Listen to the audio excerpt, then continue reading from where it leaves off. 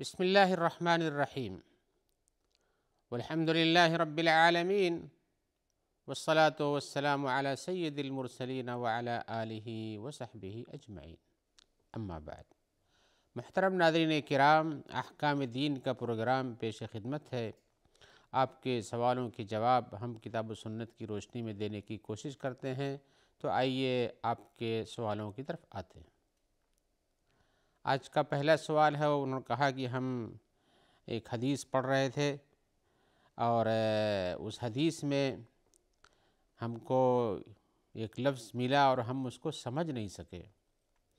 وہ حدیث بخاری شریف کی ہے، وہ کہہ رہے ہیں کہ ایک حدیث میں آیا ہوا ہے، مثل المداہن فی حدود اللہ والواقع فیہا مثل قوم استحموا سفینتا فصار بعضهم فی اسفلها وصار بعضهم فی اعلاها فكان الذي في أسفلها يمرون بالماء على الذين في عالاها فتأزوا به فأخذ فأسا فجال ينقر أسفل السفينة فأتوه فقول فقالوا ما لك؟ قال تأزيتم بي ولا بد لي من الماء فإن أخذوا على يديه أنجوه ونجوا أنفسهم وإن تركوه أهلكوه وأهلكوا أنفسهم.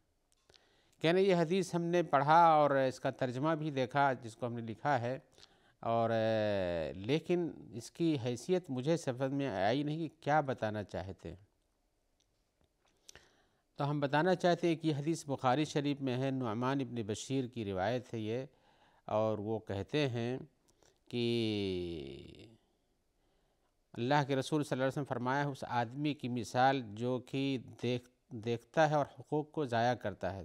دکھاتا ہے اور حقوق ضائع کرتا ہے اور کچھ ایسے ہیں جو اس کام میں پھنسے ہوئے ہیں، پڑے ہوئے ہیں یعنی وہ خود گنہ غلط کار ہیں۔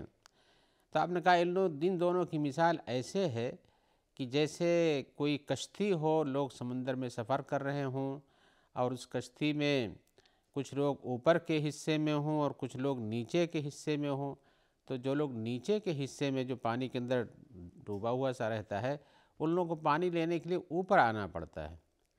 اس لیے کہ نیچے تو کوئی سوراخ نہیں، جس سے پانی نکالنے تو اوپر آتے ہیں، تو اوپر آ کر کے پانی حاصل کرتے ہیں، اس کے بعد پھر نیچے جاتے ہیں۔ تو اوپر والوں کو کچھ تکلیف سی محسوس ہوتی ہے۔ تو اس نے کیا کیا؟ تو کہا کہ اس نے کلہاڑی لیا اور وہ نیچے والے حصے میں سوراخ کرنا شروع کیا۔ تو لوگ آئے اس کے پاس، کہا، یہ کیا کرتے ہو بھائی؟ تو کہا کہ تم لوگوں کو مجھ سے تکلیف ہوتی ہے اور مجھے پانی تو لازمی لازمی استعمال کرنا ہے۔ تو یہ حدیث میں آپ نے بتایا، اگر وہ لوگ اس کو روک دیں، دیکھتے ہیں اور روک دیں، تو وہ خود بھی نجات پا جائیں گے اور دوسروں کو بھی نجات مل جائے گی اور وہ بھی بچ جائے گا، سب بچ جائیں گے۔ اور اگر نہ کہیں تو خود مر مر جائیں گے اور دوسرے لوگ بھی مر جائیں گے، اس لیے کشتی تو ڈوب جائے گی، نیچے سے پانی آنا شروع ہوگا۔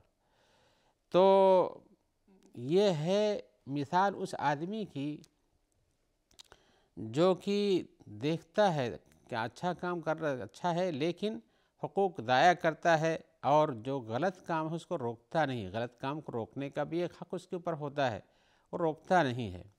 تو ایسی صورت میں کہ جو لوگ حق پہ چلتے ہیں، صحیح کام پہ عمل کرتے ہیں اور کچھ لوگ ہیں جو غلط کرتے ہیں اور ان کو کوئی ٹوکتا نہیں ہے تو ان کے ساتھ یہ بھی نقصان میں پڑ جاتے ہیں۔ ایسی صورت میں اس حدیث کے بہت الفاظ ہیں، تو اس میں تین تین شکلیں پیدا ہوتی ہیں۔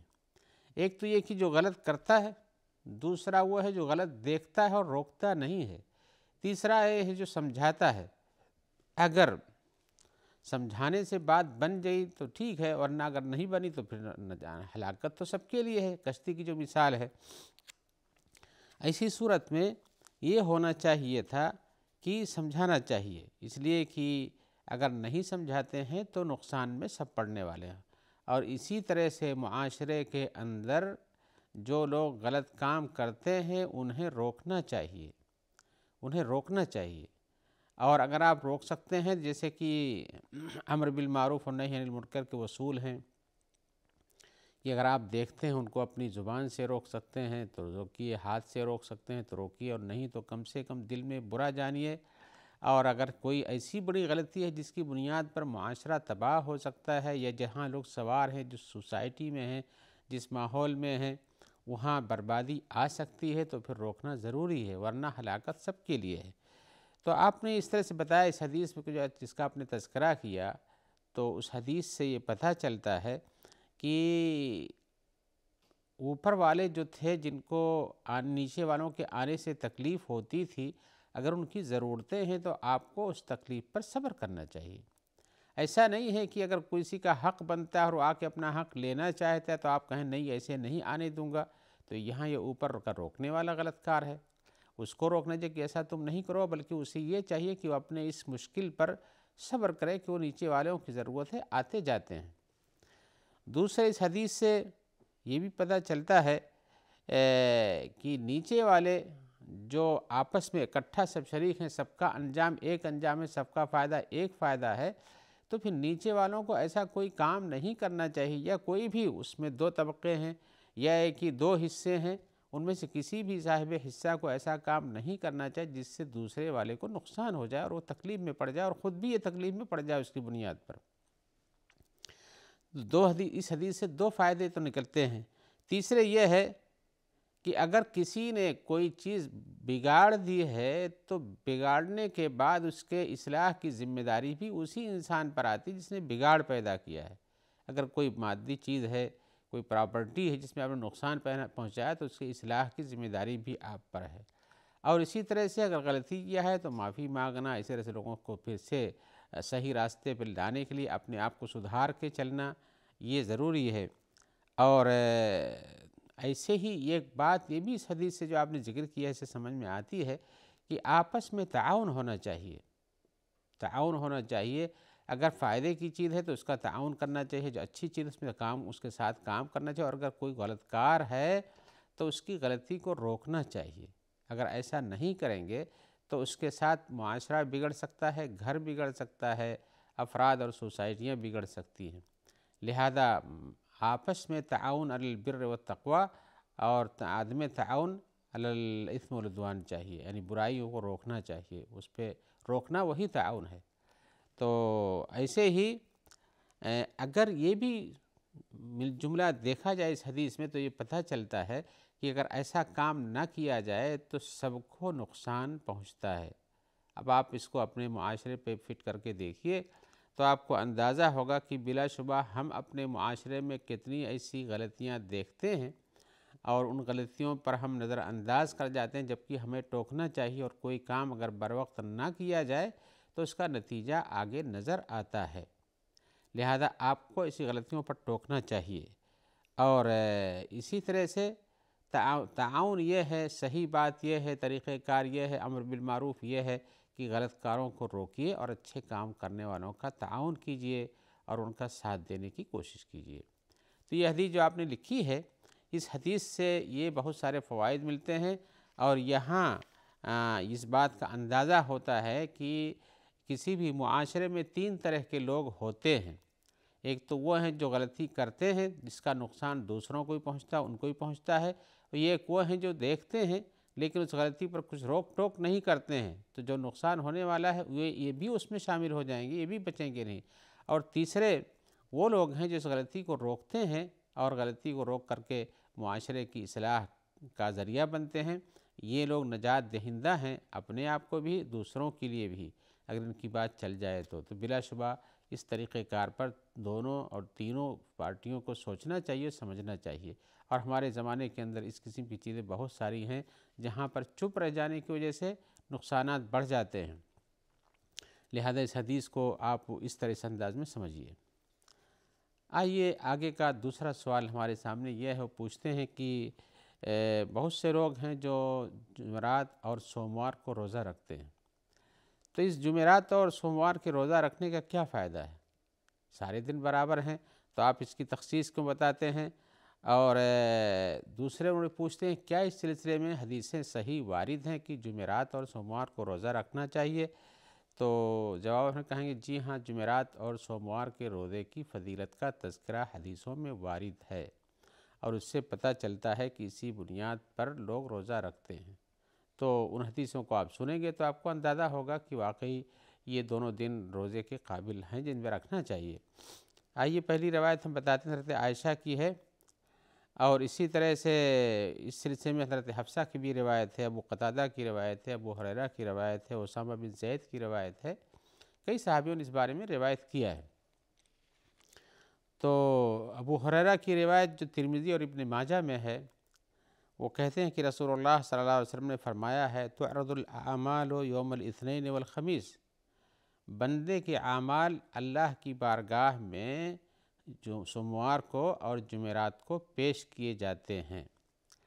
فحب وحب، فوحب اور عملی و انا صائم۔ تو مجھے یہ پسند ہے کہ میرا عمل جب پیش کیا جائے تو یہ بتایا جائے کہ بندہ رودے سے بھی ہے۔ تو یہ جو حدیث ہے اس میں کہ آدمی روزہ ایک تو عمال پیش کیے جانا، اس کی رعایت کر کے انسان زندگی گزارے، اور دوسرے کی حالت روزہ بھی بتایا جائے کہ روزے سے بھی ہے، تو ایک بہت بڑی عبادت ہے۔ روزے کی فضیلت کو آپ جانتے ہیں کہ کہ حدیث میں آیا ہے السوم لی و انا اجدی بھی، روزہ میرے لیے رکھا جاتا ہے اور میں ہی اس کا بدلہ دوں گا۔ تو یہ اللہ اور بندے کے درمیان ایک راز اور سر ہوتا ہے کہ اللہ، بندہ اللہ کے لیے اپنے آپ کو بہو کو پیاس برداشت کر کے روزہ رکھتا ہے اور اسی طرح سے غلط کاموں سے بھی صرف نظر رکھتا ہے۔ تو گویا کہ روزہ کھانے پینے کو جب منع کیا گیا اس سے منع رہتا ہے اسی طرح سے غلط چیزوں کو دیکھنا، سننا، کرنا، ان سے بھی بات رہتا ہے، جھوٹ باتیں نہیں کہتا ہے، برائیاں نہیں کرتا ہے۔ تو یہ ایک خاص عمل ہوتا ہے اس کا جس جس کے پوزیشن میں وہ بنا رہتا ہے اپنا دن بھر۔ تو اللہ کے رسول نے فرمایا کہ میں چاہتا ہوں کہ میرا جب عمل پیش کیا جائے تو یہ بھی بتائے کہ میں روزے سے ہوں۔ تو ایک روایت تو یہ ہو گئی۔ دوسری روایت جو اسامہ بن زید کی ہے، اور اس میں یہ کہا گیا ہے کہ رسول اللہ صلی اللہ علیہ وسلم اکثر بیشتر کبھی افطار کرتے تو یعنی روزہ نہیں رکھتے تھے کبھی کبھی، تو روزہ نہیں رکھتے تھے۔ اور کبھی روزہ رکھتے تھے تو بہت رکھتے تھے، لیکن خاص طور سے یہ دو دن جو ایک ہفتے میں آتے ہیں ان کو کبھی نہیں چھوڑتے تھے۔ تو کہے کہ ہم نے کہا، اللہ کے رسول صلی اللہ علیہ وسلم، آپ ہفتے میں یعنی جمعہ سے لے کے جمعہ تک میں دو دن ایسے جن کو کبھی آپ چھوڑتے نہیں، روزہ رکھتے ہیں۔ خاص طور سے سوموار اور خمیس یعنی جمعرات کا روزہ، حدیث کے جو الفاظ ہیں۔ تو آپ نے فرمایا، ان کا جو سوال تھا کہ آپ ہفتے میں دو دن روزہ نہیں چھوڑتے اور کبھی کبھی آپ روزہ نہیں چھوڑ، نہیں رکھتے ہیں، لیکن خاص طور سے ہفتے میں آپ دو دن نہیں چھوڑا کرتے ہیں، تو کیا وجہ ہے؟ تو آپ نے فرمایا، زین زین کا یومین تو اردو فیہم الاعمال۔ یہ دونوں دن ان میں اللہ کے پاس اعمال پیش کیے جاتے ہیں بندوں کے۔ فوحب اور عملی وانا صائم۔ تو مجھے یہ پسند ہے کہ میرا عمل جب پیش کیا جائے تو میں حالت روزہ میں بتایا جاؤں۔ یہ حدیث بھی صحیح ہے، حضرت ابھی ربیع الغاز کی حدیث ہے جو انہوں نے کہا کہ ہم نے حضرت عائشہ سے پوچھا۔ عائشہ سے پوچھا رسول اللہ صلی اللہ علیہ وسلم کے روزوں کے بارے میں۔ تو انہوں نے کہا کہ وہ روزہ رکھتے تھے شعبان میں تقریباً پورا پورا، تقریباً پورا پورا، یہاں تک کہ رمضان سے ملا دیتے تھے۔ اور انہوں نے کہا، کان یتحرہ سیام الاثنین والخمیس اور خاص طور سے آپ توجہ سے روزہ رکھتے تھے سوموار کا اور جمعرات کا۔ اور یہ بھی ابن ماجہ کی روایت ہے۔ ابو قدادہ انصاری کی روایت ایک لمبی ہے۔ اس میں بھی سوال کیا گیا کہ آپ سوموار کو روزہ کیوں رکھتے ہیں؟ تو آپ نے فرمایا سوموار کے بارے میں کہ یہ وہ دن ہے جس میں میری پیدائش ہوئی یعنی میری پیدائش کا دن ہے اور اسی دن میں میں اٹھایا جاؤں گا، یا کہ اسی دن میں میرے اوپر قرآن نازل کیا گیا ہے۔ تو اس دن کی ایک خصوصیت تھی، رسول اللہ صلی اللہ علیہ وسلم کے پاس قرآن کے نزول کی یا پیدائش کی، اس وجہ سے روزہ رکھتے تھے۔ تو اس سے پتہ چلتا ہے کہ سوموار کا اور جمعرات کا روزہ جو رسول اللہ صلی اللہ علیہ وسلم خاص طور سے رکھا کرتے تھے، اس کی وجہ یہ تھی کہ آپ نے بتایا کہ یہ وہ دن ہے جس میں ہفتے کے اندر انسان کے اعمال پیش کیے جاتے ہیں۔ اور اعمال جب پیش کیے جائیں تو یہ پتہ چلے کہ اس کا ساتھ ایک روزہ بھی ہے، جیسے اعمال تو روزے کا مہینہ اگر نہیں ہے تو روزہ رکھنا ضروری نہیں ہے۔ لیکن روزہ ایک ایک اہم عبادت ہے اور اسلام کے ارکان میں سے ایک رکن بھی ایک روزہ ہے جو رمضان کے روزے میں پورا ہوتا ہے، لیکن ویسے بھی روزہ خصوصی عبادت کا درجہ رکھتا ہے۔ تو بندے کا عمل پیش ہو اور روزہ جائے روزے دار بھی ہے، تو اس سے اس کی اہمیت اور فضیلت بڑھ جاتی ہے۔ تو اسی لیے خصوصی طور پر رسول اللہ صلی اللہ علیہ وسلم ان دونوں کا روزہ رکھتے تھے۔ ویسے روزے کے اور بھی دن ہوتے ہیں، جیسے مہینے کے تیرہ، چودہ، پندرہ تاریخ کا روزہ جو ہوتا ہے، عربی کی تاریخ کے حساب سے۔ ان کو آپ نے کہا روزہ رکھنا چاہیے، اگر اس طرح کوئی رکھتا ہے تو گویا کہ سال بھر روزہ رکھتا ہے اس لیے ایک ایک نیکی کا ثواب دس برابر ہوتا ہے، ایک دن رکھے گا دس دن۔ تو اس طرح سے تین رکھے گا تو تیس دن، اور اس طرح سے گویا کہ ہر مہینے روزے کا ثواب اس کو برابر کا ملتا رہے گا۔ تو اس طرح سے آپ نے کئی روزوں کا تذکرہ ایسا سال میں کیا ہے، ان میں سے یوم الاثنین اور یوم الخمیس جس کا لفظ آتا ہے یعنی سوموار اور اسی طرح سے جمعرات کا دن۔ تو یہ روزہ بھی آپ رکھا کرتے تھے۔ تو اس روزے کی فضیلت ہے اور یہ رکھنا چاہیے۔ آئیے ایک اور سوال کی طرف آتے ہیں۔ سوال میں ہمارے بھائی پوچھ رہے ہیں کہ ہم اپنی زندگی میں بہت ساری دعائیں اپنے لیے بھی کرتے ہیں، لیکن کبھی ایسا بھی ہوتا ہے کہ ہم کسی سے ناراض ہوتے ہیں، ہمیں کوئی تکلیف دیا ہوتا ہے، کوئی پریشانی پہنچا دی ہوتی ہے، تو اس کے لیے ہماری زبان سے بد دعا نکلتی ہے۔ بد دعا نکلتی ہے۔ لیکن کہا کہ بد دعا بعض بار کرنے کے بعد بھی، کبھی بعد میں ندامت اور احساس تھا کہ ہمیں ایسا نہیں کرنا چاہیے۔ ہو سکتا ہے اس کو ہماری بد دعا لگ جائے تو اس کو ایک بڑی تکلیف پہنچ جائے، ہماری تکلیف اسے چھوٹی ہے۔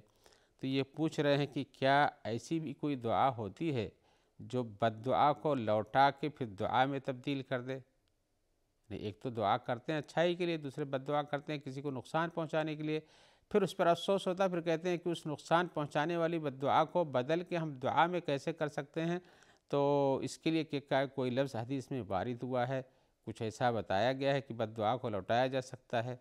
تو ہم بتانا چاہتے ہیں کہ بھائی، دعا اور بد دعا میں اگر یہ ہے، آپ دعا کرتے ہیں، اچھی بات ہے۔ یہ تو اس میں کوئی اشکال نہیں ہے، لیکن بد دعا کرنے میں ہو سکتا ہے، آپ نے بد دعا کیا ہو کسی پر، آپ کے اوپر آپ نے غلط سمجھا ہو، اس نے جو کام کیا اس کو غلط سمجھا ہو، کوئی فیصلہ کیا ہو، کوئی چیز آپ کی اٹھوا دی ہو یا اٹھا لیا ہو یا آپ کو کسی غلطی پر مارا پیٹا ہو، کچھ بھی کہہ لیجیے جس سے آپ کو تکلیف ہوئی۔ تو لیکن اگر وہ حق پر ہے جو اس نے ایسا کیا ہے، تو پھر آپ کی بد دعا کا اس پر کوئی اثر نہیں ہوگا۔ اس لیے آپ کو اطمینان رکھنا چاہیے کہ آپ نے غلطی کی، آپ نے بد دعا کی، آپ کی بد دعا نہیں قبول ہوتی ہے۔ اس لیے لیکن اگر آپ نے بد دعا کیا تھا اور وہ واقعی ظالم تھا آپ کے حق میں، تو پھر بد دعا قبول ہو جانے کے امکان ہیں۔ لیکن آپ نے جو پوچھا ہے کوئی ایسی دعا ہے، تو ایسی کوئی دعا ہم نہیں جانتے ہیں کہ وارد ہو کہ آپ بد دعا کو دعا میں تبدیل کرنے۔ لیکن یہ ہے کہ آپ اس کے لیے دعائیں کرتے رہیں، دوبارہ اچھی دعا کرتے رہیں، تو ہو سکتا ہے یہ آپ کی اچھی دعا خود کے لیے فائدہ مند بھی ہو اور آپ نے جو غلطی کیا تھا، آپ کی غلطی کے لیے کفارہ بن جائے۔ اس لیے کہ دعا تو نفع پہنچاتی اس چیز میں بھی جو آپ کسی چیز سے وارد ہوئی ہو اور نہ چیز جو چیز نہ آئی ہو اس میں بھی نفع دیتی جیسا کہ حدیث کے الفاظ میں ہے اور ابن عمر کی روایت ترمزی میں ہے۔ دعا کرنے کا حکم آیا ہوا ہے۔ لہذا ایسا کرنا چاہیے اور قضا کو صرف دعا لوٹا سکتی، جیسا کہ حدیث میں الفاظ ہیں۔ لا رد القضاء الا الدعاء، لہذا آپ کو یہ کرنا چاہیے۔ دعا اس کے لیے کیجیے شاید یہ آپ کے لیے کفارہ بن جائے گا۔ آئیے اسی جواب کے ساتھ ہم امید رکھتے ہیں کہ انشاءاللہ آپ سے آپ کو فائدہ ہوا ہوگا اور دوسرے لوگوں کو اور امید رکھتے ہیں کہ انشاءاللہ دوبارہ ملاقات ہوگی۔ جب تک کے لیے ہم دعا کرتے ہیں کہ اللہ تعالیٰ ہم سب کو خیریت سے رکھے اور اسی طرح سے اس پروگرام کو آپ تک پہنچانے کے لیے جو لوگ مددگار ہیں، جن کا تعاون حاصل ہے، اللہ تعالیٰ ان سب کو بھی خیریت سے رکھے اور جزائے خیر عطا فرمائے۔ السلام علیکم ورحمۃ اللہ وبرکاتہ۔